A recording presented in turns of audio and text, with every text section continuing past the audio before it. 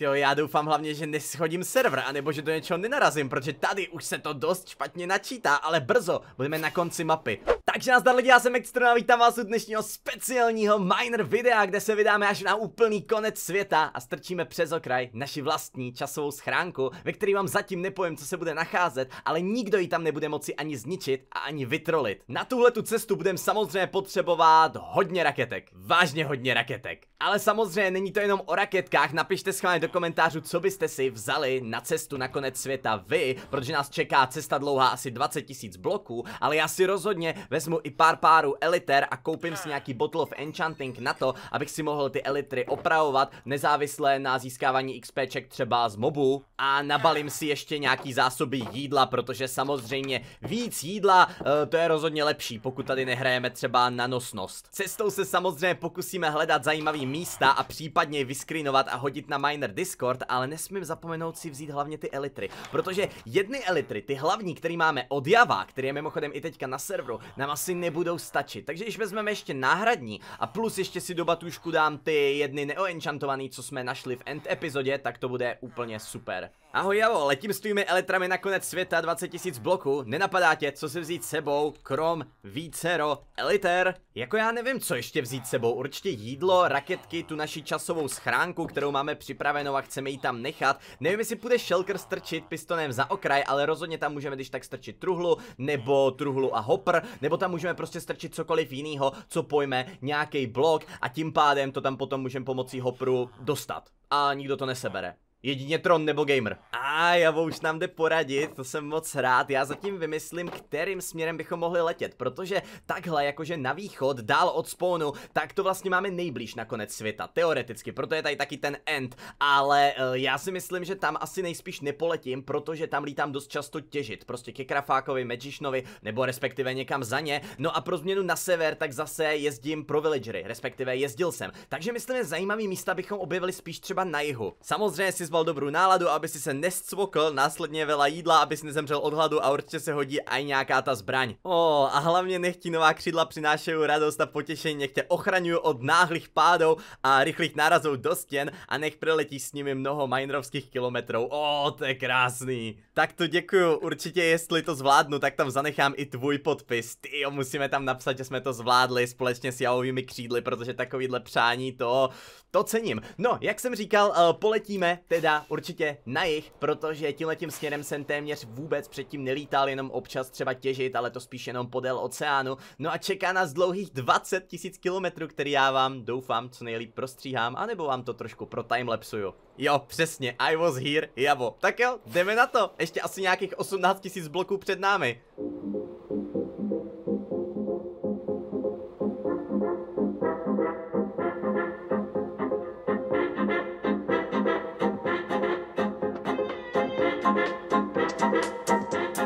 Wow, 10 tisíc bloků, dámy a pánové, 10 tisíc bloků je za námi a my samozřejmě letíme dál, dále screenujeme zajímavý místa, kam bychom se mohli ještě v budoucnu podívat. No a vy zatím hoďte palec nahoru na tohle video a případně koukněte tady nahoře na Real Geek, protože tam jsou trička, jsou tam náramky, herníčky, tam samozřejmě taky jsou s oboustraným potiskem a najdete tam i mikiny a to si myslím, že na cestování je úplně super. Wow, takhle v noci nad lesem, já ani nevím, jestli jsem takhle s těma shaderama někdy jen tak lítal, to je pro mě, to je pro mě fakt úplně super epizoda doufám, že vám se to bude taky líbit. A já on nám odešel, ale my ho tam podepíšeme, my to určitě dáme. Každopádně já už tady načínám třetí stak raketek a vidíte, že jsem ve tři čtvrtě cesty, 15 000 bloků hitneme každou chvíli a taky, že už se nám to tady pomaleji načítá. Najednou server prostě počítá vzdálenosti, který předtím nemusel, protože tady nikdo nebyl, Dinmapa to nemá načtený, no a samozřejmě tady je větší riziko, že teda třeba narazíme do nějaký hory, ale od toho máme dva totemy of Undying, který vypadají jako Among z postavičky, tak doufám, že to nebudou impostři a že to nějakým způsobem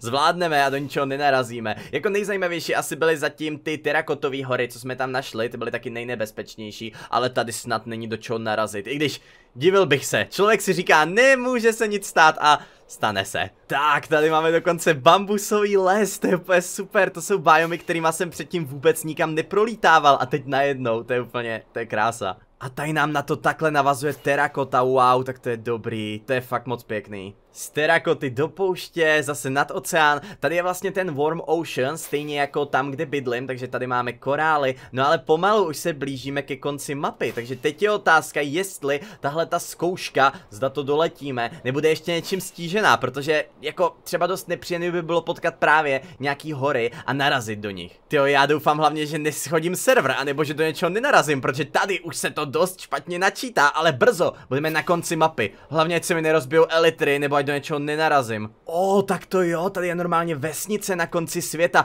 Tak to by byl ale jaký flex si odtud třeba přivíst villagera nebo tak. Jo a dokonce koukám, že tady taky hlídá Arnold. No jo, tak Arnold, jak nám ho na kaši přivezl, tak je očividně úplně všude. Oh, tohle to bude možná normální bug, ale slyšeli jste někdy o Farlands? Farlands má být totiž část Minecraftu, třeba miliony a miliony bloků vzdálená, kde už se ten svět generuje špatně a normální fyzikální zákony, jakože třeba voda prostě teče, samozřejmě, že teče, tak tyhle ty zákony tam najednou neplatí. Vy prostě odcestujete třeba 20 milionů bloků daleko, ani nemusíte tak moc, jo, můžete o tom napsat víc v komentářích, jestli chcete, nebo si vygooglete pojem Farlands, jako vzdálený kraje, ale tyjo, tam to vypadá úplně jinak. Tyjo, není tady někde kovárna, protože najít diamant a přinést si ho domů, že je jako z konce světa, to by bylo úplně skvělý, ale myslím si, že tady asi žádný truhly moc nepolutíme. Když jo, akácie, hele, ty už mi doma docházejí, klidně můžeme vzít. No a co vy to tady blokujete? Vy tam určitě něco schováváte před mnou, já vám dám.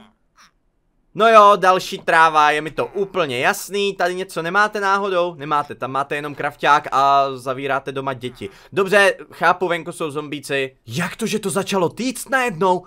Jak se to stalo? Teď já jsem, já jsem s tím nic neudělal a tohle to pořád neteče. Já, já nevím, nevím, prostě už jsme daleko, tady už ten server začíná být šílený. Já se kouknu pomalu ještě sem do toho domu, jestli tady není něco na vylutování. O, taky že jo, mapky, no jasně, mapa, že jsme byli na konci světa, to je přece skvělý důkaz, tyjo, děkuji za nápad, hro. No ale my pokračujeme dál, tyjo, s krásnou scénérií pokračujeme dál, tady je to tak hezký. Wow, to je prostě relaxační epizoda, to je prostě krása tohleto, nevím kolikrát jsem to už řekl, ale stojím si za každým, je to krása, co jsem dneska řekl. O pozor, pozor, pozor, tady už je konec světa, dámy a pánové, máme to tady, ještě jsem se nezabil tenhle kopec, tyjo, ale asi bych byl jediný, kdo umřel na konci světa na Mineru. Když já nepočítám end, protože tam jsme taky doletěli k bariéře, tyjo, ale tohleto, to je super, to je dobrý, z toho mám velkou radost. Uh, hádám, že přes bariéru fakt nejde projít, že ne, ne, nejde a jelikož se chová jako stěna, tak na rozdíl od Mineru jedničky, mm, tak nemůžeme ani se teleportovat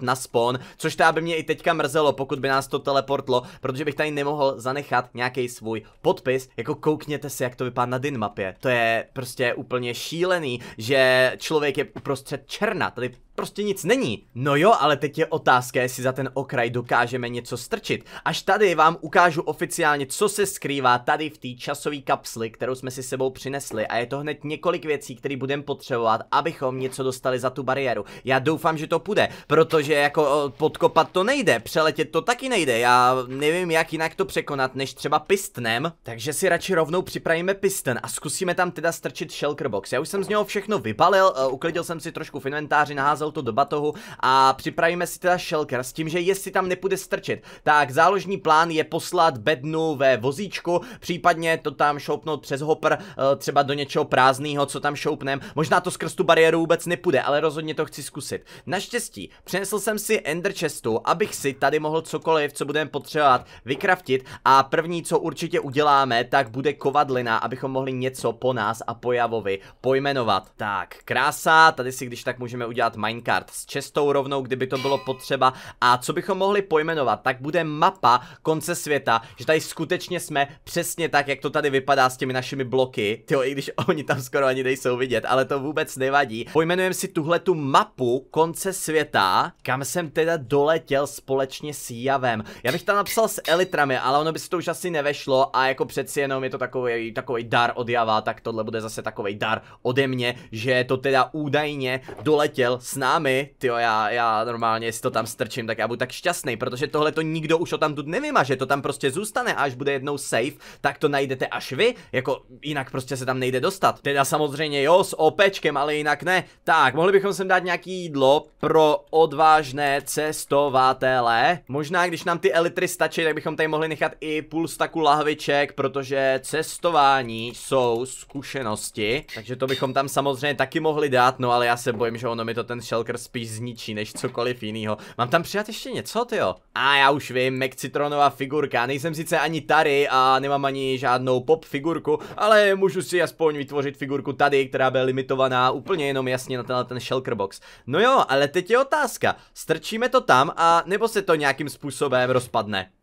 Dobře, rozpadne se to, takže plán s minecartem a s hoprem uh, musí nastat. Item tam nehodím, co? Ono se to odrazí, tyjo, to bych chtělo jedině hopr dát sem, tak bychom když tak mohli vyrobit ještě další hopr, jo, to by nevadilo. No jo, já to tam nemůžu placenout, ale to je průšvih. Tak počkej, dáme tady block of iron, tady dáme takhle zaměřený hopr, tohle to ukopeme, tady dáme samozřejmě piston. Tak, jde tohle to šoupnout? A ah, to nejde šoupnout. Tak dobře, s hoprem nás to taky zklamalo, ale teoreticky by to ještě mohlo jít třeba s minecartem nebo s něčím, prostě nějak to za tu bariéru dostat. Já si tady teda určitě udělám raily, ale teď by to chtělo možná nějaký skokánek, nebo já, já nevím, jako to nedokáže asi projet, ne? Nebo bych to tam mohl jenom strčit. Jo, že bychom to prostě hodili do minecartu, ten shulker box, jako časovou schránku a prostě bychom to za to strčili. Já doufám, že to půjde, protože já se chci vrátit domů. Ne, to nejde, já jsem se chtěl vrátit domů a po cestě vylutovat tu krásnou jeskyni pouštní, co jsme tam našli, ale takhle to nepůjde. Hmm, ty jo, tak to se ale bojím, že to asi nějak nedáme. To možná jedině ještě třeba, já nevím, že by to dispenser třeba vyplivnul na druhou stranu? Jo, můžeme to tady zkusit pokopat, vzít si nějaký kameny. To je teprve endstone. Co endstone z endu? Tohle to je endstone, to je konec světa tohleto. No a myslím si, že bychom teoreticky ještě s redstonem to nějak vykraftit mohli. Jo, mně by se hodilo udělat ještě luk, ale já si myslím, že i dropper by mohl fungovat, když ho budeme nasměrovávat správným směrem. Jako ale zase to se to dispone, když to tam vyplivne. No dobře, zkusíme zkusíme to třeba s hlínou, jo? První blok, co prošel přes bariéru, bude hlína. Fakt, že jo, fakt, že jo, ta hlína tam je, takže takhle bychom to tam mohli dostat. No jo, ale to bych chtělo to hodit do něčeho, kde se to zachytí, protože jinak se to dispone. Jako dobrý, jo, časová schránka, jasně, může být omezený čas, ale kdyby se to tam nějak udrželo, ten item, nějak to tam prostě nechat, aby, aby to nezmizelo. Počkej, a co kdybych minecart s čestou plivnul za to, Uh, Jo, dobře, no tak to by muselo být na koleje. Ale jasný, pak bychom to mohli takhle kliknout, no ale teďka ne, že jo, no tak dobře, tak jinak. Jako šrotuje mi to, že bychom to tam hodili třeba přes trampolínu, nebo já nevím opravdu, ale myslím si, že asi nic nevymyslíme. Já si nechám poradit od vás, prostě počítejte s tím, že ta bariéra je plný blok, přes který jediný co jde, tak je házet itemy. To očividně, a jde jenom tím droprem, dobře. Takže ale mohli bychom teoreticky buď droprem nebo dispenserem tam něco dát a nějak to tam udržet. Poraďte mi prosím vás, jak byste to udělali, protože tady musí být nějaký způsob, jak za to umístit blok bez toho, abych požádal pomoc strona, který by prostě tu bariéru vypnul nebo posunul o jeden blok, jo. Jej, jej, jej. To by samozřejmě taky bylo bombový, jo, ale to už by bylo ulehčený, to by nebylo ono, já si myslím, že tady musí být nějaký způsob. Prostě, pamatujte na to, že jde tam házet itemy. Je nějaký item, který by se zhmotnil po tom, co by tam dopadl? Já, já nevím, já, jako nevím, nenapadá mě takhle nic, ale kdyby vás něco napadlo, tak určitě dejte vědět, protože rozhodně to můžeme vymyslet a tu časovou schránku, já vám říkám, tu tam strčíme. Každopádně, došli jsme na konec světa, na Mineru, to se nám rozhodně povedlo, máme tady připravenou tu časovou schránku, už takhle je to nejvzdáleněji položený blok, co kdo na Mineru vůbec položil v Overworldu, těch 20 000 bloků od spawnu, ale já to o ten jeden blok ještě posunu. Já to prostě zvládnu, když mi poradíte, zvládneme to společně. Každopádně, tohle to už bude pro tuto epizodu všechno. Já vám děkuji moc za sledování, doufám, že se vám líbila. Pokud se vám líbila, určitě budu rád za palec nahoru. Nezapomeňte samozřejmě si nahodit odběr a taky samozřejmě tam dejte ten zvoneček, ať víte o nových videích. No a mrkněte se i na ostatní série, protože netočím jenom Miner, takže určitě koukněte, i kdyby to byly nějaký starší. No a ještě nakonec tady mám takovou zajímavost, že na chladných zbraních, to mě jen tak jako napadlo, není to domluvený, ani vám na to nedám měřený link, ale prostě na chladných zbraních mají teďka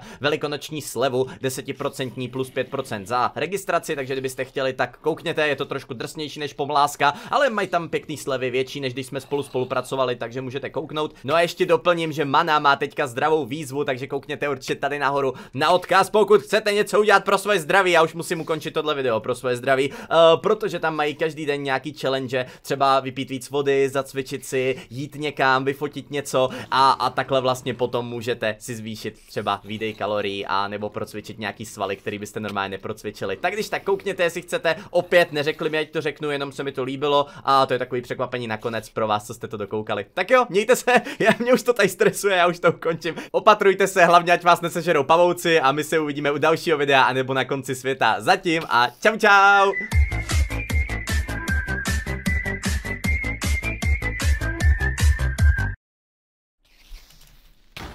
Uh, to bylo tak tak, uh, to bylo vážně tak tak.